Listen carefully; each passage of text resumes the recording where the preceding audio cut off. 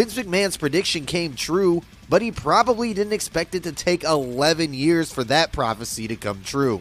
McIntyre suffered a slide down from the card like a few have before and went from being a future world champ to a corny enhancement talent as a part of 3MB. When he was released by WWE in 2014, he realized it was a blessing in disguise and rapidly built his way up in the independent scene and became a household name in Impact Wrestling, winning the World Championship. Although his run with Impact lasted just two years, it opened the door for a WWE return, and his three years away was enough to turn him into an established star.